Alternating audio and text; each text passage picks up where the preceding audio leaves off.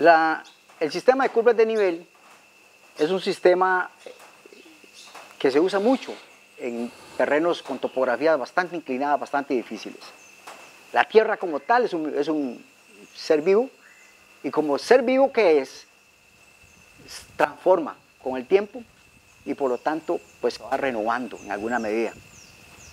Hay una situación que se presenta en muchos terrenos de nuestro país y en muchos países, lo que es la erosión, el desgaste, ya sea por escorrentía o ya sea por eh, lo que llaman el viento. Y algo importante es qué métodos podemos usar para contrarrestar de alguna manera esta erosión.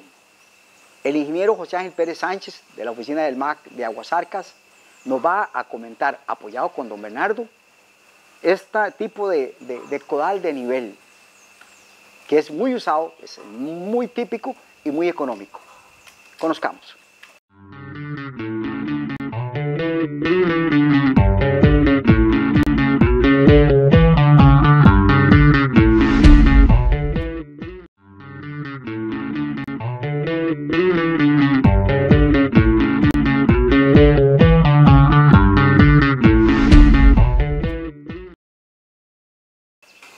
Hoy vamos a compartir un, tema muy importante con los productores agropecuarios, especialmente de la zona norte, eh, para eh, mejorar uno de los factores más importantes de la producción agropecuaria, que es el suelo. Eh, los, los, factores de, de, la producción agropecuaria entendemos que es la tierra, el capital, la mano de obra, el clima y el mercado. Pero hoy le vamos a dar un poquito de importancia a lo que es tierra, en este caso suelo, porque el suelo, eh, el suelo es donde la planta obtiene la mayoría de los, eh, la mayoría de los nutrientes, porque hay algunos otros nutrientes que los, que los capta del aire. Eh, desde hace mucho tiempo ya los suelos están agotando, primero porque no le devolvemos lo que le quitamos, eso devolverles con los rastrojos de las plantas, con fertilizantes, y otra es porque eh, las fuertes lluvias que caen aquí en San Carlos, se lleva ese suelo, se lo lleva, cuando tenemos suelos desnudos, ese suelo va a quedar donde el vecino, y el vecino feliz de la vida, porque el, el suelo de nuestra finca va a caer a la finca de él, el fertilizante que vamos a aplicar se va para la finca de él, él va a tener beneficios sin, sin ningún costo. Eh, para, para, mejorar, para mejorar un suelo, eh, hay varias técnicas de, hay varias técnicas que se pueden aplicar. Unas son barreras vivas, acequias de la era, canales de guardia, eh, uso de abonos orgánicos, coberturas verdes, hay muchas. Pero hoy, hoy nos vamos a enfocar a lo que es curvas curvas, siembras al contorno y barreras vivas. Para realizar esta técnica existen instrumentos, no podemos así hacerlo a, al ojímetro. Tenemos que usar algún instrumento y para eso hay muchos. Tenemos el, el, codal, codal o caballete, y eh, hay otros como nivel de ingeniero, clinómetro, eh, y hay otros más, el el nivel de manguera, muy importante, y hay otro más eh, tecnológico, que son los drones, pero esa tecnología es cara y, no podemos usar, eh, no, no, está a mano de todos. Entonces por hoy vamos a utilizar, vamos a, construir un codal. Un codal, aquí eh, el amigo nos va a ayudar con la carpintería del mismo. este codal es una regla de dos metros de largo con patas de un metro de largo cada una. Entonces, eh, don, entonces si quiere, nos ayuda con, con, la construcción, ir cortando, para que los amigos televidentes y productores eh, puedan eh, tener uno en su casa, porque es muy barato, es muy eficiente y muy cómodo. Entonces, en, cada finca podemos tener uno, o organizarse también por grupos y, y tener, tener un coal para, para varios.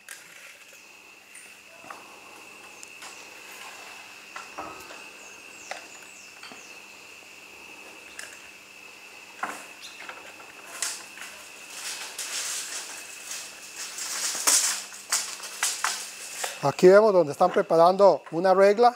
Esta regla eh, es de, de, laurel, está bien terminadita, bien cepillada. Eh, mide, es como 4 pulgadas de, de, ancho por una, 4 por 1, en 2 metros de, en 2 metros de largo.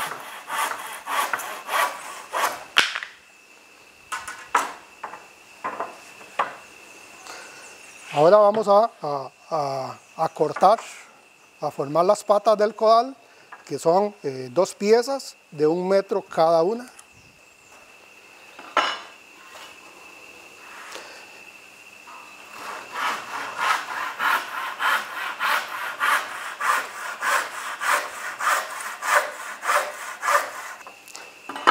Existen algunos codales que se le puede hacer eh, una pata movible que pudiera ser con tornillos.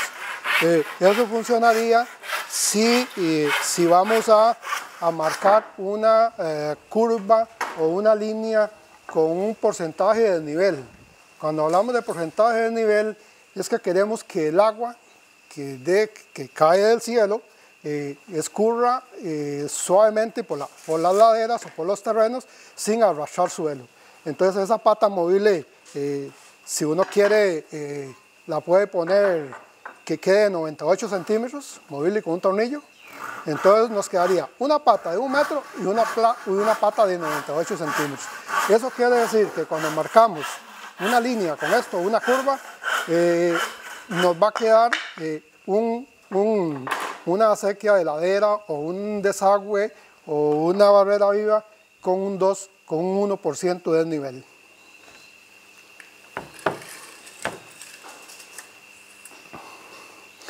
En, esa, eh, en esta regla de 2 metros hay que ponerle un nivel y estamos utilizando este nivel que es un nivel de, que se usa en cuerdas, de, los carpinteros lo usan mucho en los, eh, para cuerda.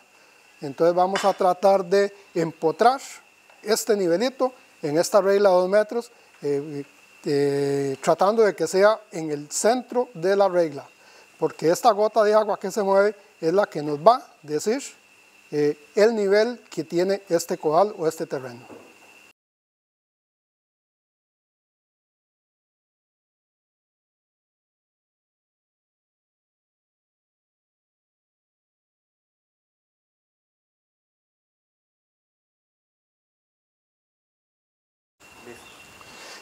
Aquí ya estamos eh, colocando eh, el nivel de cuerda sobre la regla. Es un, tenemos que usar algo para fijarlo, para que no se caiga. En este caso estamos utilizando un pegamento.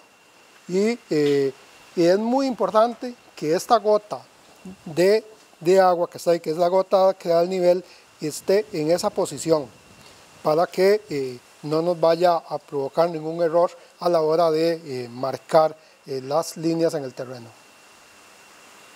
Eh, seguidamente, aquí el especialista en carpintería nos va a ayudar a, colocar ya las, patas.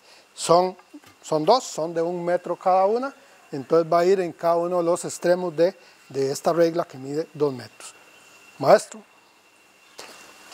estas patas se pueden pueden eh, adherir a esta regla con clavos o con tornillo o de alguna otra manera que quede bien eh, fija para que no se nos eh, no quede suelta o floja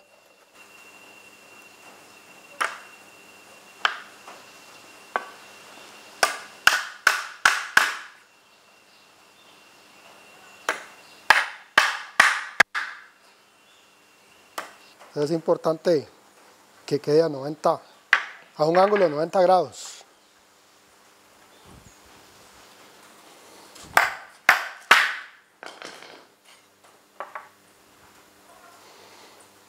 Aquí el maestro de obra está colocando la escuadra para verificar que, que la pata sí quedó a 90 grados de, de, inclinación. Si las puntas de los clavos salieron al otro lado para eliminarlas, para que no vaya a provocar un, un accidente con la persona que está eh, manejando el, el, codal. Entonces es mejor eh, eh, doblarlo para que no vaya a haber punzaduras.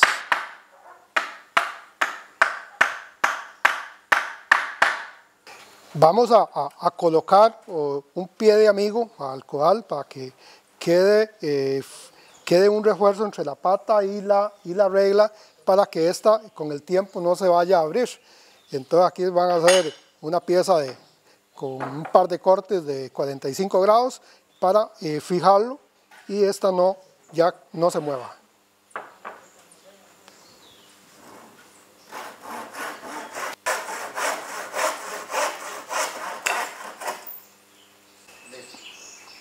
Ya como pueden ver, ya tenemos eh, eh, este codal eh, listo para ir a, hacer el marcado de, de, cualquier obra de conservación de suelo.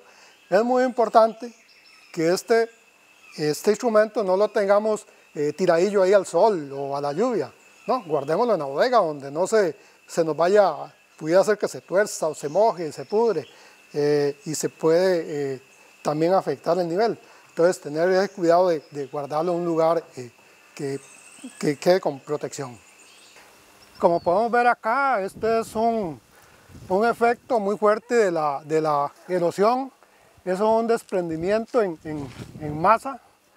Eh, muy probable ocurrió porque en la parte alta eh, hubo mucha agua, se filtró, el suelo no aguantó, quedó saturado y se vino, se vino para abajo. Aquí quedó bien porque quedó en la finca, pero en otros lugares puede quedar en la finca, en la finca del vecino. Entonces, eh, una, una solución que podría ayudar para que no siga desprendiéndose. Allá vemos una, una barrera con guitabos que puede servir, pero también sería importante hacer un corte de agua para que el agua eh, de lluvia no siga viniéndose por ese mismo eh, sector.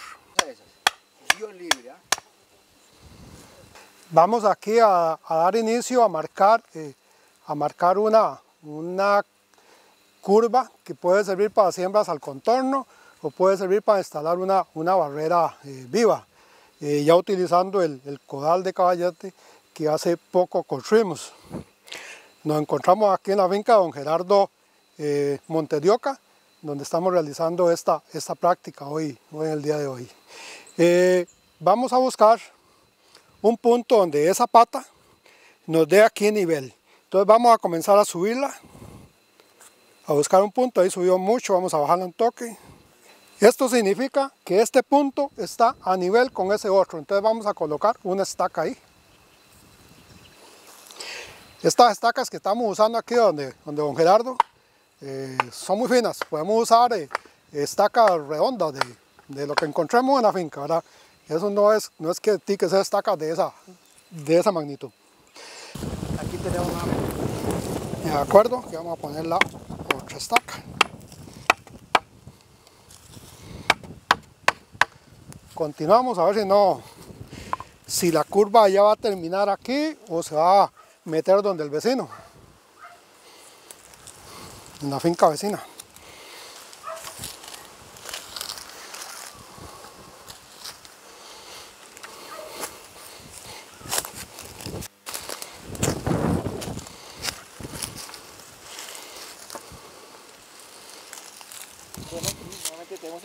Ok, perfecto.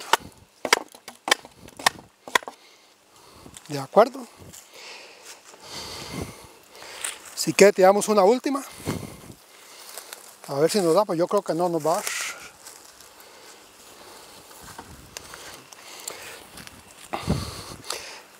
eh, esta, esta, esta fila de estacas, muchos le llaman una eh, línea maestra, que si queremos hacer una idéntica a esta, y si tenemos, eh, si tenemos ya idea qué cultivo se va a cultivar, y si sabemos que la distancia entre calles es de 2 metros, nada más medimos 2 metros de esa estaca a esta y vamos haciendo una paralela igual a esa.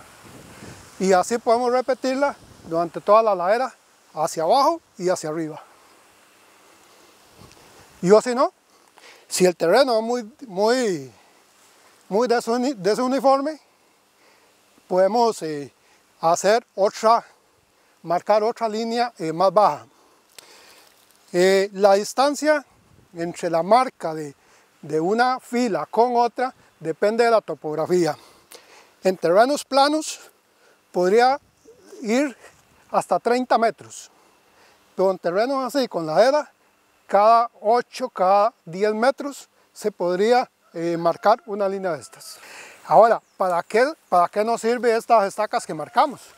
Bueno, esto uno podría hacer una, con una pala, hacer un desagüe siguiendo la fila y eso nos va a dar un, como un tipo de acequia heladera que llamamos.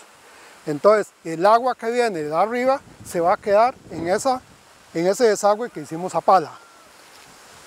Otro es que se pueden sembrar plantas que se cierran mucho, como zacate de limón, eh, zacate de violeta o vetiver, o podría ser hasta pasto, un pasto de corte, se puede utilizar y, se puede utilizar también para los animales. Entonces eso nos va a ayudar a detener que, el agua de escorrentía eh, continúe eh, la era abajo. Quiero agradecer a, Luis Gerardo Montedioca. Él es un profesional en la medicina jubilado ya, pero igual se está, está preocupado por el rescate y la producción en forma sustentable o sostenible. Agradecerle a José Ángel Pérez Sánchez, y yo sé que, que él ya en su nueva etapa, porque se va a jubilar, no lo quiso decir, pues yo se lo voy a decir, agradecerle a él todo el tiempo que nos ha estado apoyando con diferentes programas, así que vamos a tener a Cintia Granados, yo sé que es reacia a, las cámaras y, a,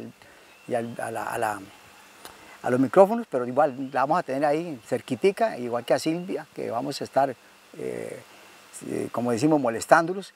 Y a usted, doctor, agradecerle que nos da la oportunidad de demostrar, educar a distancia a aquellas personas que de alguna manera no pudieron ir a una universidad, no pudieron ir a un colegio, no pudieron a un, sino que en una forma práctica, aprender haciendo. ¿Qué le pareció la experiencia? Sí, realmente me pareció una excelente experiencia. Acá en la finca pues sí teníamos serios problemas de, eh, de listamiento, de erosión y creo que este eh, codal de caballete, nivel de caballete, es, es un instrumento, es una herramienta eh, barata, muy práctica y de, mucho beneficio. De hecho, con la práctica que, tuvimos, eh, pudimos eh, tirar niveles y con eso poder tomar medidas preventivas para evitar lo que es problema de, erosión y de deslizamiento. Entonces, realmente yo recomiendo este tipo de, de práctica de este tipo de, herramienta y, y, por supuesto muy agradecidos aquí con, con don Gilbert de guía agropecuaria, con, con los funcionarios de, del MAC, eh, ingeniero Pérez eh, y, compañeras y, y, de, de, TV Actual que, que, que nos acompañan y, demás compañeras acá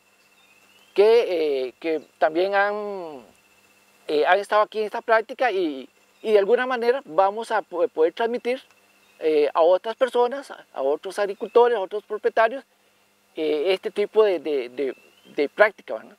Así que gracias, eh, ¿cómo se llama la finca? Bueno, esto lo tenemos como Estación Experimental Montedioca, finca Corteza. Así es, que ya lo saben. Gracias a todos y gracias a, a los compañeros de la oficina del MAC de Aguasarcas, el apoyo técnico en el día de hoy.